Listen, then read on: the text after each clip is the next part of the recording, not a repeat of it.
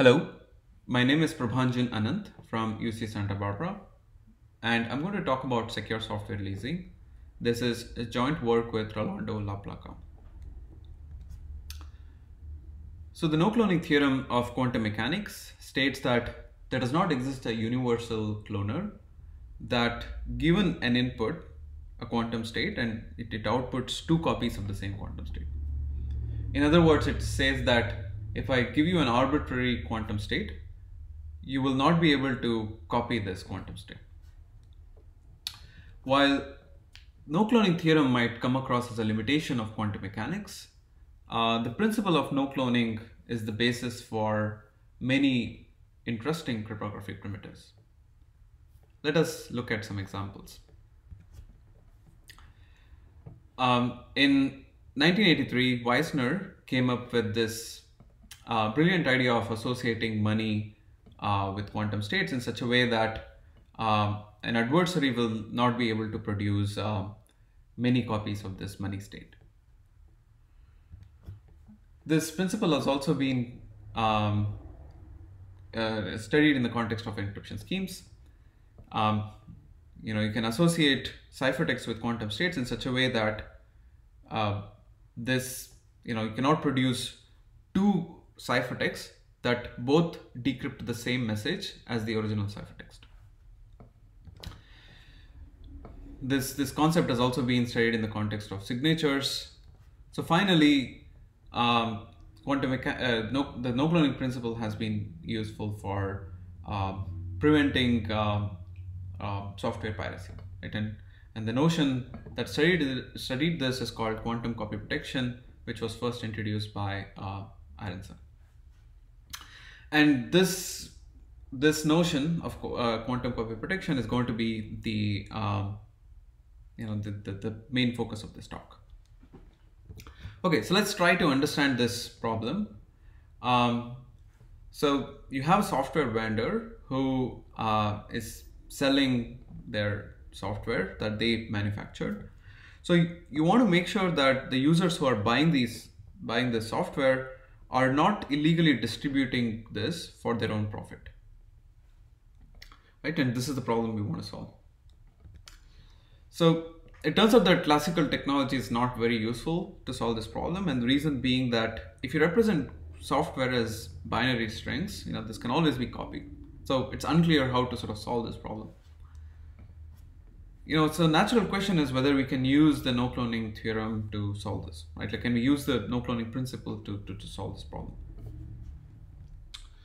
And the, the, the Aaronson introduced the notion of quantum copy protection to precisely address this problem. Okay, so let's see what quantum copy protection is. So let's um, consider a specific example. So let's say there's a Microsoft who wants to sell their software. Um, and let's say the software is represented as a circuit C.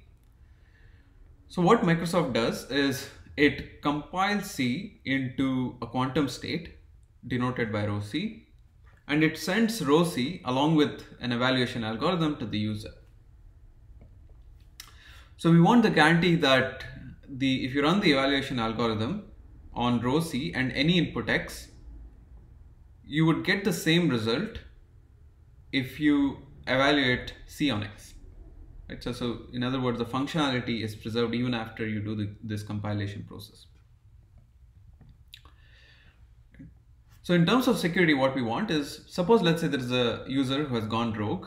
So he gets this compiled software from Microsoft and he tries to um, create two copies of this software in such a way that both these copies evaluate to this uh, compute the same circuit C. So in other words, in the first copy, the user has sent, let's say, rho C1 and eval 1. Um, and with the goal that uh, if you run eval 1 on rho C1 and any input X, you should get back C of X. And similarly, he does this for the second copy too. So the intuitive security property we want is that you know if the user um, you know tries to sort of create these two copies uh, satisfying these two conditions then he should be you should only be able to succeed with very, very small probability, right? Let's say like negligible probability. Right, so in this example, like consider the case when um, you know rho c1 and rho c2 could be unentangled and let's say he only uh, is expected to output two copies. But in reality maybe the user gets k copies of the compiled circuit and we want the guarantee that it should not be able to output k plus 1 copies right? And all these different copies could be entangled with each other. Right, so, so we want the guarantee that if you evaluate all of them on, on an input x, the probability that all of them output c of x is negligible.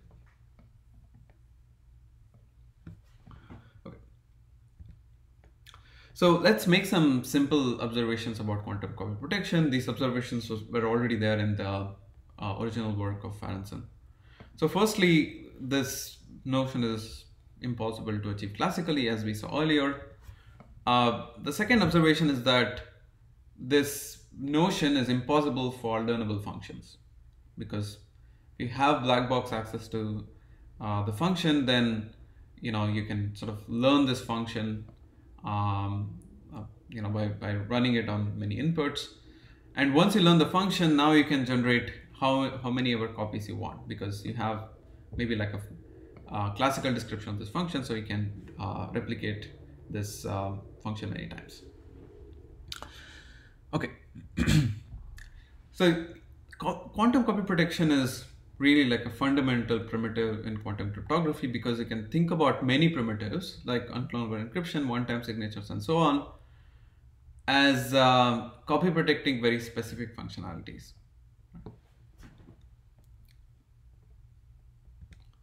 Okay. Okay, so what do we know about quantum copy protection? You know, uh, Aaronson, in, in the work where he introduced uh, copy protection, he also came up with a construction of copy protection for all unlearnable functions in the quantum oracle model. This is a model where the oracle runs some quantum functionality. And then he, and then in, in a more recent work, um, you know, the, there was a construction of quantum copy protection for unlearnable functions in the classical oracle model. Right? Uh, in, in this model, you know, the functionality implemented in the Oracle is classical, uh, but the queries um, uh, could be superposition queries. That could be quantum queries. And these, these two results were in the Oracle model. What do we know in the plain model? Uh, in the plain model, we knew of only heuristic construction of um, of copy protection for very, very specific functions, uh, namely point functions in the plain model. Okay, so a natural question that was sort of left open since um, Aaronson's work was that was whether we can construct quantum copy protection for all unlearnable functions. And in this work, we show that the answer is no. Um, we show that uh, there does exist unlearnable functions for which uh, quantum copy protection is impossible, right? And our result is conditional. Um, our, uh, our result is a conditional because we uh, make use of cryptographic assumptions. So we show that um, there does not exist quantum copy protection for all unlearnable functions, uh, assuming uh, FHE core quantum circuits and also that learning with errors is hard against quantum polynomial time algorithms. yeah, so quantum FHE is just uh, FHE for quantum computations. Okay, specifically we identify a class of functions uh, such that this class of functions is quantum unlearnable. Um, and moreover, if given any copy protected state, given like a physical uh, physical access to a, a copy protected state that computes this function, we can create new copies of this function. It turns out that the techniques uh, underlying the impossibility result of copy protection is also useful for ruling out quantum virtual black obfuscation. Um, so recall that um, classical VBB obfuscation was ruled out by Barak et al. in 2001. Um, and you know, you can ask this question whether you can obfuscate classical programs but using quantum machinery, meaning that you know, suppose let's say you allow for the obfuscation algorithm to be uh, a quantum uh, circuit, and let's say the output is a quantum state. So if this is the case, then can you actually achieve virtual black uh, virtual black box obfuscation? And we show that even this is not possible. Like even if you use uh, quantum mechanics, you cannot achieve uh, the strongest notion of obfuscation, which is the virtual black box obfuscation. And this was also concurrently uh, observed by Alagic, uh, Brakerski, Dulek, and Schaffner. And they rule out uh, quantum virtual black obfuscation, uh, black box obfuscation under under weaker assumptions, just the quantum hardness of LW. Okay, so you know, so we uh, ruled out the existence of uh, copy protection for all unlearnable functions. So you can ask the question whether you can construct copy protection for a subclass of unlearnable functions. For example, let's say they are evasive functions. And in particular, we are interested in constructions without using any oracles. And this seems like a hard problem. Um, and so uh, we observe that in some settings, we don't need this, the strongest notion of copy protection. We can, uh, we can settle with some weaker notions of copy protection, and this is what we are going to do. Right, so to understand how we can weaken the definition of copy protection, we're going to recall the um, the copy protection setting. So, so in copy protection, the adversary can produce two states um, and along with these two states, the adversary also produces its own evaluation algorithms, right? And um, we want to guarantee that you know simultaneously these two evaluation algorithms don't compute the original circuit C, right, with uh, non-negligible probability. Right, so you can consider scenarios where the evaluation algorithm, choosing the evaluation algorithm is not under the control of the adversary. Um, so for example, let's say you know there's some software that only runs on a specific operating system. You know of course the adversary can look at the software um, and create its own open source versions but we want to make sure that uh, these open source versions don't run on the same operating system. Um, right? So because if, if the adversary is able to create such a software where uh, a pirated software that runs on the same OS, then this might um, affect the revenue of uh, the, the company which created the software. Okay, so towards sort of capturing the setting, we're going to introduce the notion of secure software leasing. Um, so in this setting, you know, consider the scenario where the company, let's say Microsoft leases software to a user, and after the lease period is over, the user is supposed to return back the software. And after return, returning back the software, the user loses the ability to run the software again on Windows. So in other words, the user does not have any copy of the software after it returns back the software. So we can consider sort of like two leases. One is infinite term leases, uh, where the lease never expires, uh, which means that the user can keep the software forever. The other type of lease is finite term lease. Uh, here the lease will expire after a certain amount of time. Right, so based on these two notions of leases, we can actually define, we can give two different definitions of uh, secure software leasing. Um, in the first definition, which is called the infinite term lessor security, the adversary cannot produce two copies that both compute the original circuit with respect to the same evaluation algorithm that was provided by the software creator. Right, in, in finite term lessor security, you have a weaker guarantee that you know the adversary is supposed to return the first copy. Um, and if the first copy does not, you know, either it is the case that the first copy does not pass the verification check, or if it passes, then it has to be the case that the second copy does not evaluate the circuit with respect to the same evaluation algorithm eval. Okay. Okay, so pictorially speaking, you can say that you know the user should not be able to produce two different states that both compute C in the case of infinite term list search security, but in the case of finite term list search security, the user is supposed to return back the software. Uh, and after that, you look at whether the second copy computes the original circuit or not. Okay. Okay, so now, um, you know, we, we said that, you know, constructing copy protection is hard. So let's look at this weaker notion. Um, and you can ask if SSL exists for unlearnable functions. And unfortunately, the same impossibility result for copy protection can actually be um, um, modified and can, can be used to rule out finite term SSL as well. Um, but on the other hand, it could very well be the case that building SSL for simple class of unlearnable functions might be much easier than building, let's say, copy protection for um, the same class of uh, functions. And, and that's what we're going to do.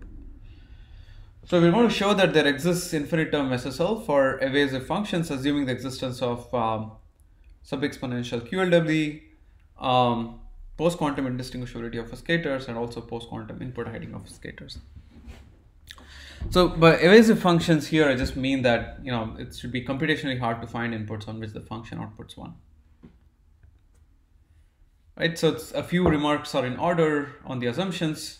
Um, so sub-exponential QLW just means that the learning with errors assumption is hard against sub-exponential quantum polynomial time adversaries. Uh, Post-quantum IO just means that IO is secure against QPT adversaries. And finally, we also use uh, input hiding obfuscators. Um, roughly speaking, the security definition says that if I give you obfuscation of a circuit C, then you cannot find an input X such that C of X is 1. And we give a very simple sort of observation that you can construct input hiding obfuscators for compute and compare from LW right? And um, compute and compare class of functions uh, are the following class of functions. It, they take as input x, they compute on x to obtain a prime, and you output one if and only if a, a prime equals a. Right, so, so you're computing something and then comparing with some other hardwired input. Okay, so if you combine this observation, then you can show that there exists infinite term SSL for compute and compare circuits, assuming the existence of sub-exponential QLW and post-quantum indistinguishability obfuscators. Okay. So we summarize our contributions. We show that uh, copy protection is impossible to uh, achieve. Like even finite time SSL can be ruled out um, from quantum efficient QLW. And then we also give a construction of um, infinite term SSL for evasive functions. Um, okay, so let's get into the technical details let's start with the impossibility result. So the main tool we are going to use is a quantum FHE scheme. This just means that given encryption of a quantum state, they, then you can homomorphically evaluate um, this on any quantum circuit C to obtain encryption of C applied on the uh, original state. Um, the main starting point, uh, we're going to um, the, the, we were going the, the main insight that we are going to use is from uh, the seminal work of Barak et al., who say that there exists a class of circuits for which um, if I give you a classical software implementing this circuit, then uh, you can recover some secret S. But if I give you black box access to the circuit, then you cannot recover the secret S. So why is this insight useful? Um, so we can look at the first bullet and see maybe this might be useful for recovering another implementation of C. And maybe from bullet two, we can use that to prove unlearnability of C, right?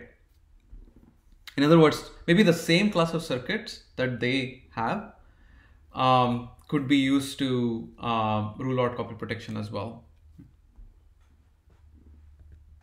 Okay, so there are some challenges in sort of implementing this uh, approach. The first one is that, you know, in, in Barak et al., it, it was sufficient to talk about just recovering one secret bit. That was enough, right?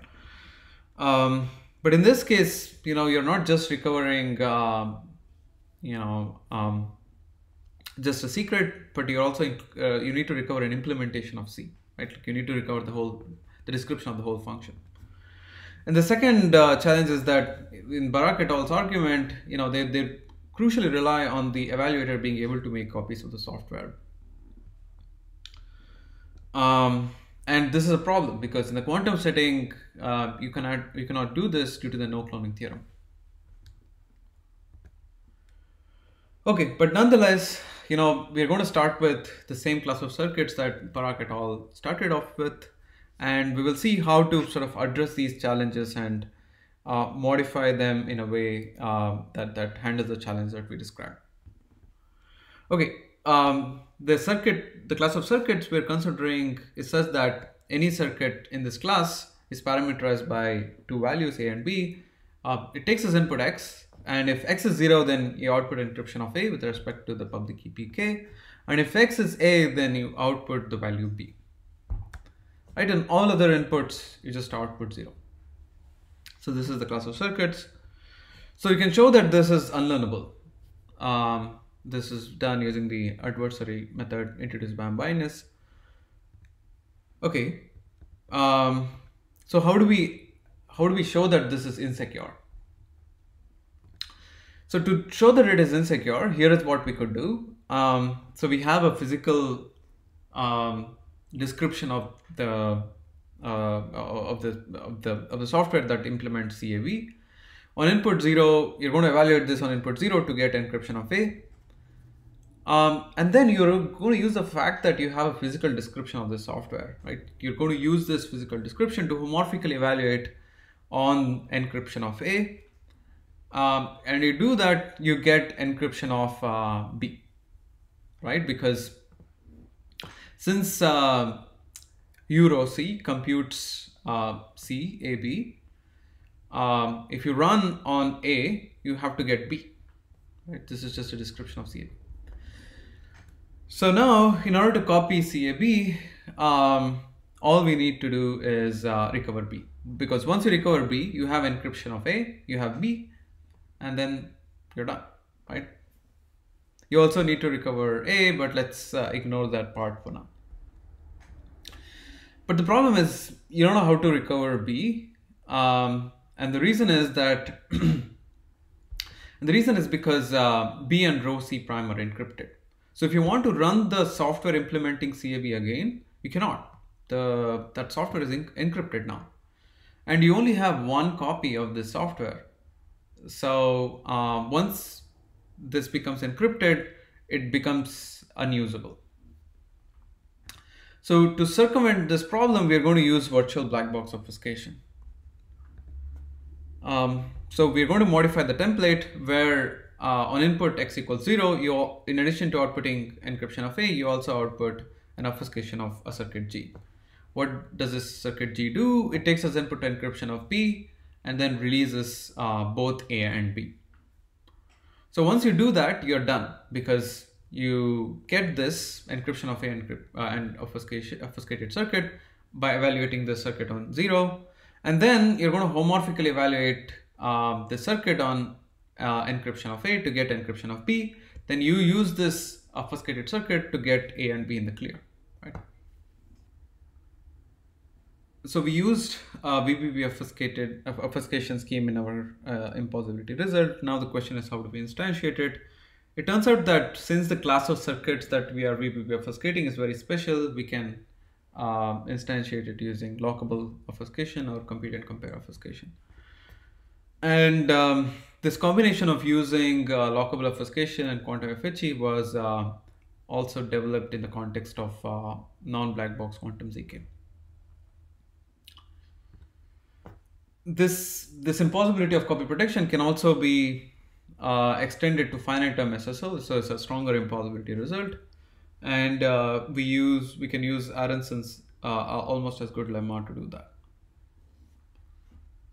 Okay, so let's move on to the construction of infinite term SSL. So recall that um, the adversary in an infinite term uh, uh, lessor security definition is such that it on input a quantum state tries to output two copies such that both the copies evaluate the same circuit uh, as before. And our goal is to um, construct uh, infinite SSL for evasive functions. So to do that, we we use the following insight. Um, so no matter what scheme we come up with, um, the adversary is going to behave as follows. Uh, on input, uh, quantum software uh, either does two things. I mean, either he outputs two copies that both of them are the same as the original software, or it outputs two uh, copies where one of them could be different from, uh, at least one of them is different from the original copy. And the first case is um, more similar to the uh, no cloning theorem setting. So we can you prob- uh, possibly use the no cloning principle to prevent this case. And we can use crypto to prevent the second case. Um, right? And, and to see why crypto here is useful, there is a lit- rich literature on uh, non-malleable cryptography. I mean, there's there are many works that show that if, let's say, an adversary tries to tamper with a cryptographic object, then he can only succeed with uh, very small probability. Right? And that's why crypto is useful to prevent the second case. So there have been some subsequent works on SSL, um, which are going to appear at CCC, uh, TCC. Um, so they construct SSL uh, for um, for for different class of functions from either weaker assumptions like sub-exponential QLW or even no assumptions uh, with weaker correctness guarantees. There are also constructions of uh, copy protection in the Oracle models. Uh, there was recently a construction of copy protection for PRF's uh, first time in the plain model. Um, some open problems that still remain uh, is that we don't know how to copy protect evasive functions in the plain model. That's still open.